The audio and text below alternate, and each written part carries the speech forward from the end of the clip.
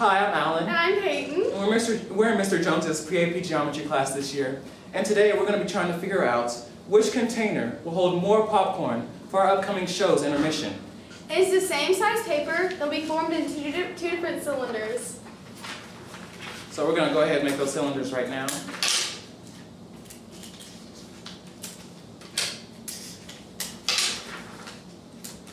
I'm going to beat you. No, you're not.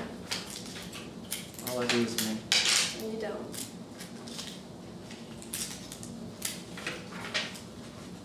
No.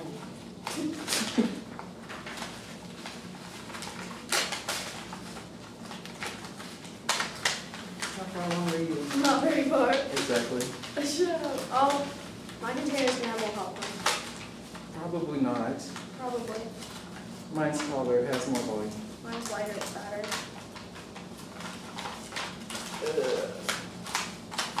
There we go. One is wider, and the other one's taller. Yes. So now we'll see which one will hold more popcorn for us. Are you ready Yes. to get beat? No.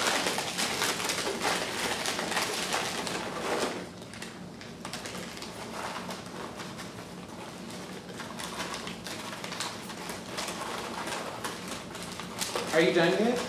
No. I think I'm winning. No, you're not. You're pretty slow, Peyton. I'm sorry. I'm almost done. How Yeah. about you? 'Cause mine's bigger. Mine has more.